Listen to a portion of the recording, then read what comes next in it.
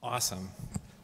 Hi, everyone. It is so awesome to be back at another PSB. Uh, this is, uh, I think, my 25th or 26th year coming to these meetings, um, and it's always great to be in Hawaii. So, I'm Sean Mooney. Um, uh, for those that you don't know me, I'm at the University of Washington. I'm Chief Research Information Officer of UW Medicine, our health system.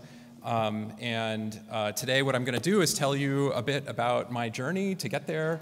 I want to thank Teri for inviting me to give this talk. I hope that uh, you guys find it interesting and, and hearing a little bit about my journey trying to integrate research into a large academic medical center health, health system thing.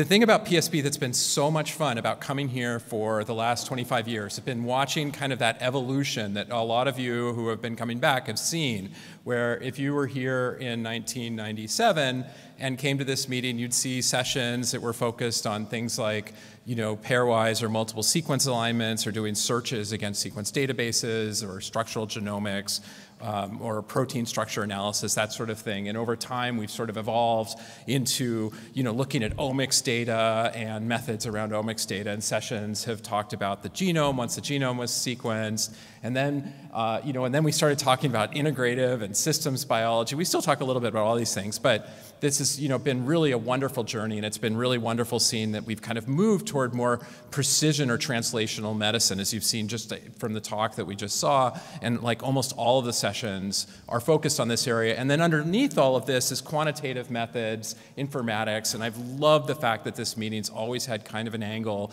in the ELSI space for ethical, legal, uh, you know, social implications of uh, you know, biocomputing and biomedical informatics. So, um, for those of you that know my career, I spent most of my career working on trying to predict pathogenic genetic variants. I started doing this as a graduate student when I was, a, uh, when I was at UCSF working for Teri Klein, and, um, and I continued to do this for most of my career. I've collaborated a lot with a number of people. The primary person I've worked with is Predrag Radivojac, who's also a regular PSB attendee, but not here this year. And we've published more than 40 papers together, all focused in this space of trying to model biology and then predict how a mutation or a genetic variant on the genome would disrupt that biology and thereby cause disease. And you can read all about that, but I'm not going to talk about that in this talk very much, other than to acknowledge that that's the work that we've been working on. Um, often in, these, in this paper, in a bunch of our papers, you'll see ROC curves that look like this, where we do some form of cross-validation. We compare our method to a bunch of other methods. We then have some validation set that wasn't used. It could be perspective, like say genetic variants that are, are curated into ClinVar, um, and um, that are cur curated into ClinVar later, like in the future, and, that's, and then we can show that our method is working better than, than others. Um, and I think a lot of folks follow this model, and you'll see a lot of papers in PSB that kind of do that, where you have data that or some data set that's collected you build a model with that data that's been you know very heavily or, or you know well annotated and then that model results in some form of a, like an ROC curve or some sort of an evaluation process where it's then you know if it's novel it's on its own. If it's not novel it's compared to other things and then people write a paper and that paper gets reviewed and published and you know perhaps in the PSB proceedings. But as we move toward precision medicine, you know, I think it's pretty obvious that that leaves a lot of open and unanswered questions if we do, um, uh, you know, if we write a paper in that way. So, you know, what happens if this model is implemented into a clinical workflow as clinical decision support? Doesn't matter if you're predicting genetic variation or patients in the EHR, you know, in the emergency room who are going to decline, or whether you're in an outpatient setting trying to predict patients that are clinically depressed. Um, you know, we don't really understand whether providers or how providers will use these methods. We don't understand whether it satisfies them. We don't understand whether it distracts them or whether patients benefit from it. Um, and does it show the value that we proposed when we wrote the paper and said that this method is more accurate than all of the other methods? And then finally, does it actually bring um, value to the health system? And so this made this these questions, you know, about 15 years ago started to make me ask, you know, how, how, I wanted to understand patients better. I was collaborating a lot with geneticists, and geneticists love sending me, you know, Excel, Excel spreadsheets or CSV files where the rows were probands, they were patients, the columns were genetic elements, and then the final column was the condition. And the condition was yes or no, like yes Parkinson's, no Parkinson's, whether the patients fit the, exclusion, eh, the inclusion or exclusion criteria. And if you know, if you've ever met a pa Parkinson's patient, they're all different. And so yes and no wasn't enough. So I really thought that that was like the future was like trying to understand phenotype better, trying to understand patients better. And so I started to, I was at a nonprofit private research institute that wasn't a health system, and I started to co collaborate with friends of mine, people who come to PSB actually, about trying to get access to clinical patient data. And again, I'm trained as a chemist. I'm not a provider, so this was all very new to me in a new world, and I was really excited about being able to, to do that. And I remember the day where I had a conversation. I won't name who that was that had that conversation. They're not here today, but they're often here. Um, and they basically, after a long effort, told me that I couldn't get access to any patient data from their site. And, and that upset me. I wasn't angry at this person, but I was upset about the whole process because we'd been working together for a long time on this and I didn't get access. And I literally, this is totally a true story. I went home that night and I started working on my CV because I was going to get a new job working on trying to make clinical real world data more usable in an open data science world. And I, I used that CV that I worked on that night started applying for jobs. And I was really, really surprised that a bioinformatics guy trained as a chemist started getting interviews to do this because I had no idea what EHR data looked like at that time. It's totally true. I went to the University of Washington as Chief Research Information Officer. I was the first person to do that, and that was awesome. Really great opportunity to jump in because a lot of because we had a really really great data resource and nobody was playing with it, which was great.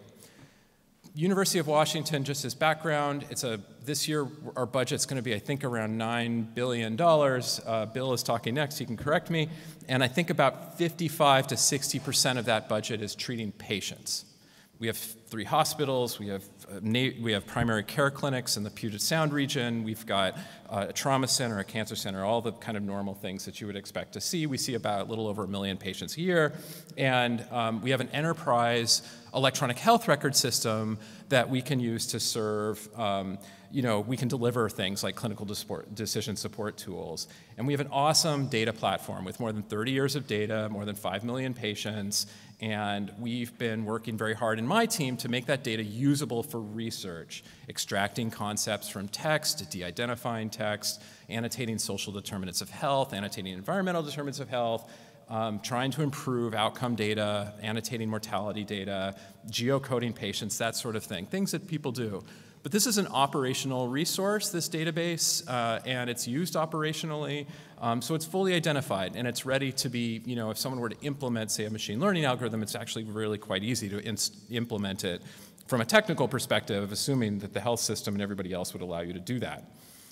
And so we started having conversations about like all the things that this is just thought experiments about what we would need to have in place if we were to try to implement AI methods, like say a machine learning method that works at the population level at the University of Washington Health System. What would that actually take? And um, and so we um, we uh, kind of wrote all of those things down like and and this is this is just sort of a laundry list and i'm not going to go into detail on everything but we you know you need data of course. You need data governance. You need data access. You need like hipaa computing where you can run things. You need that software to deliver you know any sort of method or tool that's going to have results. You need to be able to interface the data the model and the and the software that delivers it. You need to be able to have compliance. You need to have clinical governance and be in clinical governance um, and then you have to be able to have some sort of predictive analytics or machine level governance as well that can oversee which methods you impl implement. And then you have to have the tools to implement them and you have to have, you know, once they're implemented, you have to be able to oversee them and try to, you know, monitor them over time. And, you know, all of us, me included, throughout our careers, like we're told to be autonomous agents and independent. We're like really asked to write our first grant, our R01. We're told to stay away from administrative things. We're told to be bottom up. Health systems don't work that way. They're top down. We have committees. Those committees go up to CEOs or presidents, et cetera, that kind of oversee things. And it's totally the opposite of everything we've ever done. And the biggest mistake that I see that investigators do when they try to get something installed is they bring that autonomous, I wrote my R01 kind of approach to the health system, and it doesn't work, and they get frustrated. So what we did was we started to build a team, and I got very little startup. I actually had more startup at my previous job when I actually moved into the UW um, uh, that was left over, but that whatever, that doesn't matter. But I, I started to try to build a team, and um, and with the goal of putting in place the pieces to support operational IT to do implementation of you know, data-driven methods in a secure, compliant, ethical way. Um, and so I'm going to tell you a little bit about some of those team, the teamwork that we have done. So the first thing I mentioned, was at the top, was patient data governance and use. We didn't know how to make decisions around sharing data. If someone from the College of Engineering came to us with a USB drive and said, I want all of your patient data, we had no way to make a decision other than me saying no or sending an email to our president and saying, Can you please say no for me so I can say no? And, um, and so that was kind of the first thing that we sort of focused on was building a team of people that could query and deliver data and do it compliantly, but also building the governance so that we knew how to make decisions and when to make decisions and what kind of our values were about how we shared data.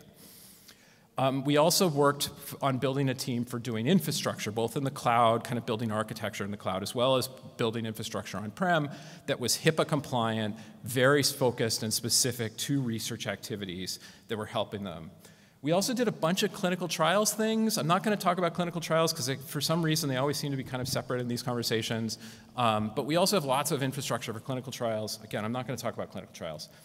Um, and we have an EDC system for collecting data, basically form data. Uh, we use REDCap. Probably many of you are familiar with REDCap. Our REDCap instance is like a headache. It's so big. It's you know 30, 40,000 projects at this point. We've had probably I don't know, 20,000 active users, and we get more than 1,000 unique logins every week. And it's a really big system, and it's hard to keep going. And some days, you know, I wake up in the morning and I get an email that someone tried to send 120,000 emails through REDCap to patients, and it, it closed and everything got blocked, and nothing's working. Um, and then finally, the most important thing, that last mile, is Epic. Is like, how do we implement into the EHR? And so we started sending people to Epic, getting them trained at Epic, and getting them embedded in the Epic clinical IT team so that they, if someone wanted to run pragmatic research in Epic, we'd have someone who had the bandwidth and the priority to do that. All right, let's talk a little bit about data. So those are the teams that we built. And let's talk a little bit about data governance. Very early on, I sat down, I sent, I talked to our vice dean for research and graduate education, who doesn't normally work in the health system, but I convinced him, he's retired, but I convinced him at the time that this was something important to do, and uh, he agreed.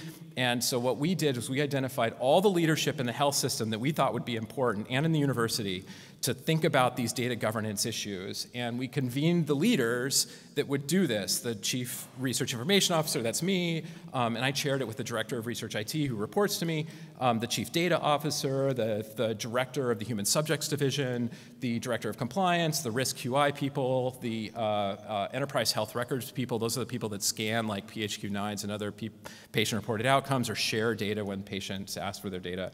The vice dean for research, the director of business for the clinical operations, the business people, and then, um, of course, our counsel.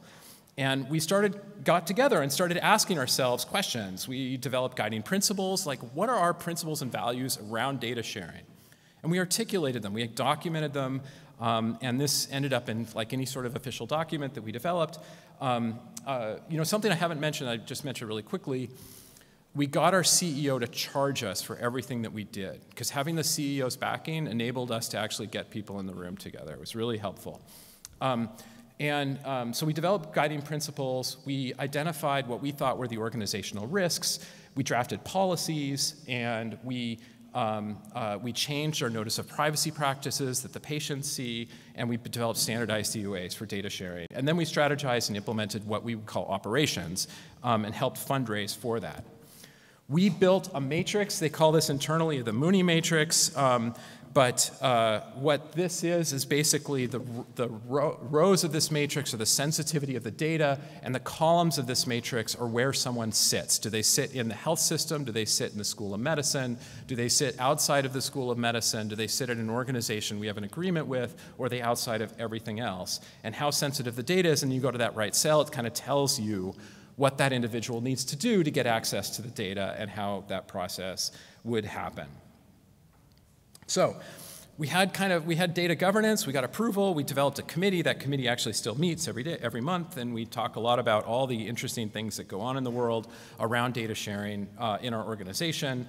And we also you know in parallel we're working on tools for data access. We wanted investigators to have a way to access data. We developed a tool called Leaf. This was developed by Nick Dobbins, who is my pr principal architect on my team, really, really talented developer um, has a PhD now, he's largely independent, um, and he developed an application called Leaf, which we implemented. If you've used I2B2, it's kind of like I2B2, but it's web-based, um, but it doesn't prescribe a data model. And that's why people like it. It's really, really easy to implement, and it kind of auto-magically glues on to whatever patient-centered data that you have, um, and it's really easy to use. It's open source, it's free to use, um, since it's been in production at the UW, we've run, we've trained hundreds of investigators on how to use it.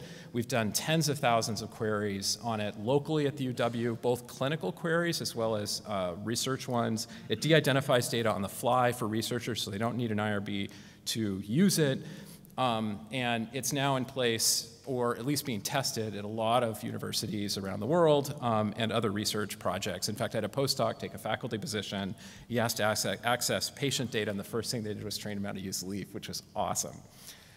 Uh, fitting in with the themes of this conference, I'll say that that was a generative AI picture of Nick.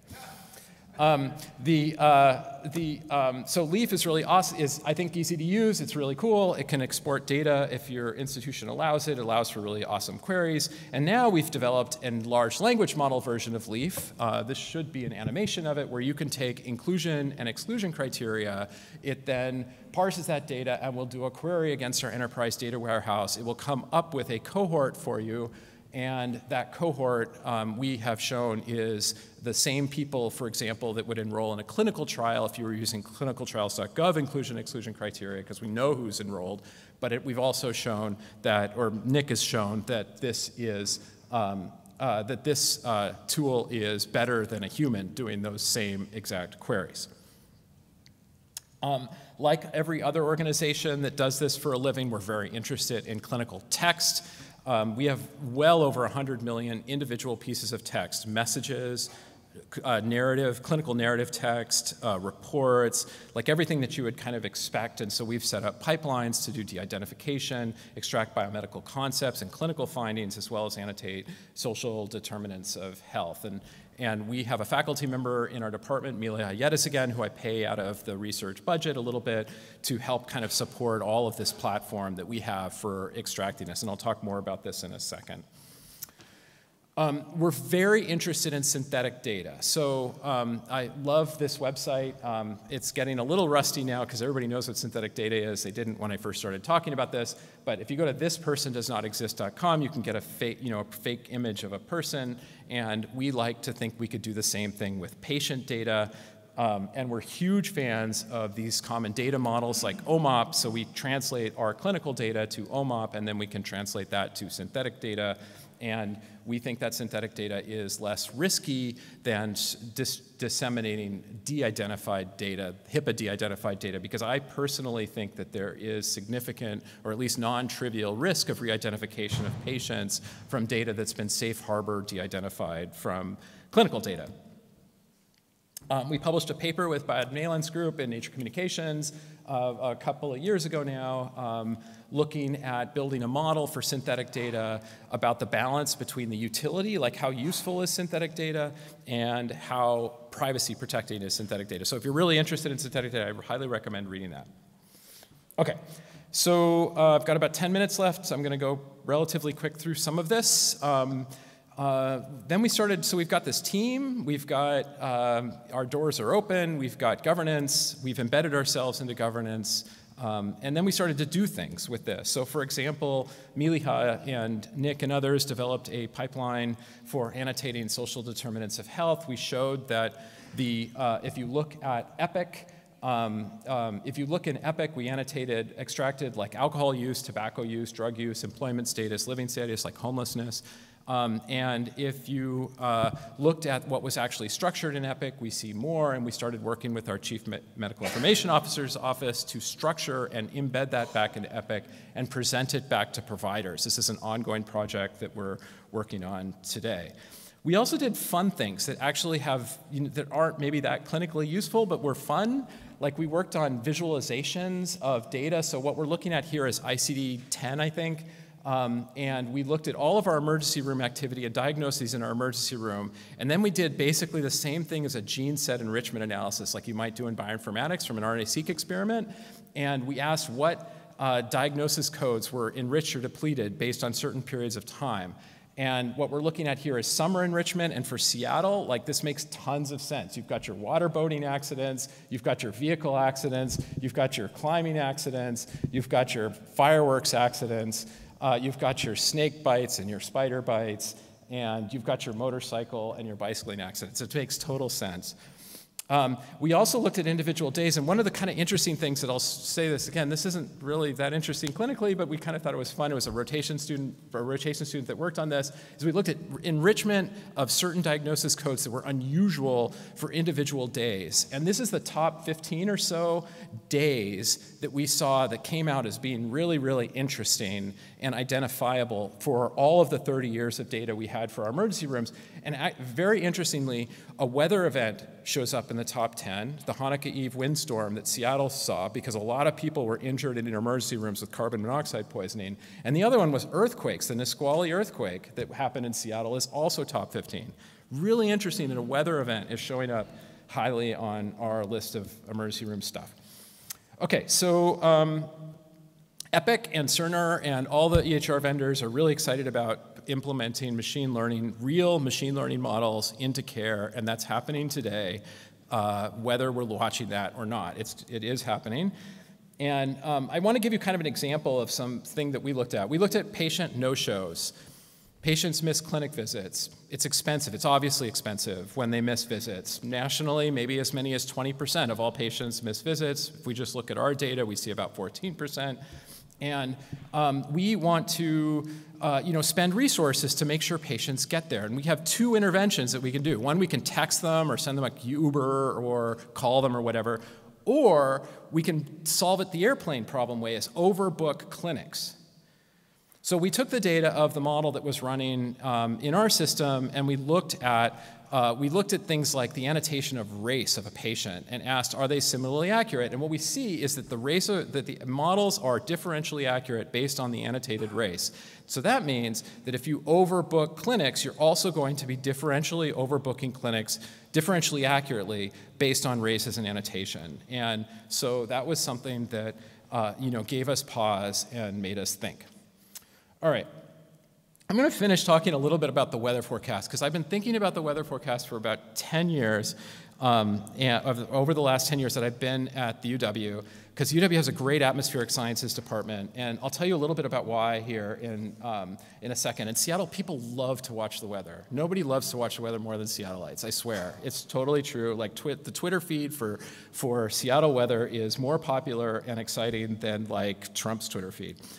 And um, if you probably remember, like the old newspaper, um, uh, the old newspaper uh, uh, weather forecasts, where you had a list of all the temperatures. Um, this is from London because I couldn't find one from Seattle. These are actually really hard to find on the internet. And, um, and here at the bottom, they show you kind of the low pressure lines on a, you know, a small line drawing. This is for like the, this is super low resolution, right? That's the entire Atlantic Ocean there.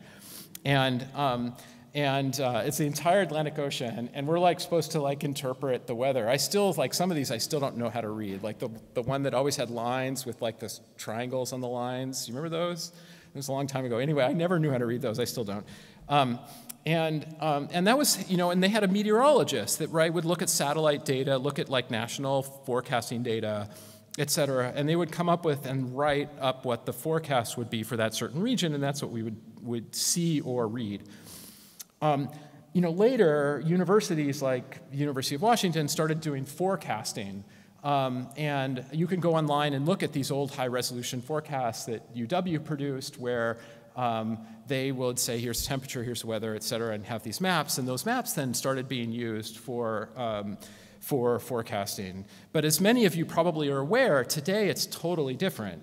Today we have global weather forecasting models. So there's a small number of sites around the world that run all the time or running simulations basically every six hours. They're running all the time and um, they're very high resolution and they're global and they run out to 10 or 15 days into the future they release data every 6 to 12 hours i'm showing data on the european one there's an american one the gfs which is kind of this animation that i'm showing and they run ensemble ensembles of models. So they have like in the case of the european they have 51 different simulations that are running at any one time. And then every six hours or so they release bulk data of what those simulations are.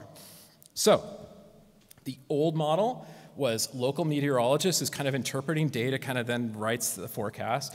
The new model is a handful, a very small number of handful of models, of centers, simulate the global weather, and then we build literally visual analytics tools that pull data out of those tools to look at the local model of how we do. And then the local people, the local meteorologists, like know how these different global models work in that different region. Like sometimes the American one is better than the European one, and sometimes it's not, and they kind of compete with each other.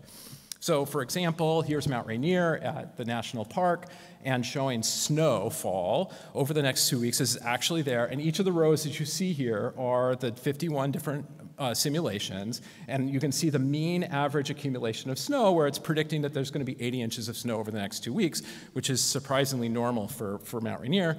We can also do it for like temperature for the region based where we extract, like here's all the temperature anomalies, that's the difference from normal um, in the region. You could see that yesterday they were forecasting that Seattle is going to be really cold next week, which is unfortunate because I'm going home. Um, and so this is super interesting. How did medicine like get so far behind? like they're really like kicking everybody's rear end. So we actually thought about this and we're like, what if we were to try to do forecasting on a health system? Like, let's try to actually do that. And we've got all the team together to do it. And I talked a little bit about this last year, and I only have three minutes left, so I'm going to be really pretty quick. Um, but we did it. We built an infrastructure where we can put machine learning models that predict the future onto our live EHR data that's used operationally. We got the health system to agree to it, we got the IRB to agree to it, and we got all the technical pieces, and we believed that we could do it. And we partnered with Sage Bionetworks to do that. Um, we, um, and we did it kind of in a sneaky way to help us be able to do it uh, in a way that was compliant. Um, sneaky is maybe the wrong word. We built it in a way that, was, uh, that didn't share data. And the way that we did that was we started by building the, an exact replica of our infrastructure in the cloud in AWS, but we populated it with synthetic data instead of real data. And we then um, built kind of an honest broker of machine learning models to enable the machine learning models to talk to that data. And we have a workflow language, oops, a workflow language where the data scientist can tell the model in the Dockerized container world what to do when it sees the data. And the data is in a standard data model, so everybody knows what it looks like and they can play with that. Once they showed us they could do that, we then had a backdoor where we could take the models ourselves, pull them down, and apply them to the real data and do that. So we decided to run an experiment, um, uh, and we wanted it to kind of be like an open data science experiment. So we said, well, why don't we open the doors to this and train people to predict 180-day all-cause mortality? There were a number of papers that were out there. Death is very quantitative. It's easy to measure. We felt we had good data to do it, and um, there were other competing methods out there, so we thought that that would be a good thing to do. So we asked data scientists using this infrastructure to predict 180-day all-cause mortality on our patients. We had a leave-out data set that we could use for ranking the models. Um, we had people submitting models, we had models running, we then validated them, we had a leaderboard, and we ran this for a few months, and then we stopped the challenge, closed everything down, and of course, we waited 180 days to see which models predicted the future the best. So we've got ROC curves, precision recall curves. The best model had about 50% precision and 50% recall, which is kind of scary if you think about it. Um, and uh, Uh, and we ran it. We learned a ton. You can read about the papers that we did. One of the things that I think, I'm going to go back to looking at demographics or basically patient populations that we really cared about. Um, but what we see is that um, the, uh, uh, if we look at, like, say, annotated race, this works for gender, age, and some other things too, is that highly accurate models differ in accuracy on specific populations underneath the hood. So if two vendors come to you and say, our model is both has an AUC of 0.95, it may actually work underneath the hood very differently on different populations. Really important. So we're, we're actually running a dementia challenge, but we're actually interested in running a real like weather forecasting challenge where you have a big giant matrix of rows of patients and columns of events moving into the future and having people predict that. I'm out of time, so I'm not going to talk about anything else except for to thank my team um, and to thank all the people that we work with and fund us. Thank you.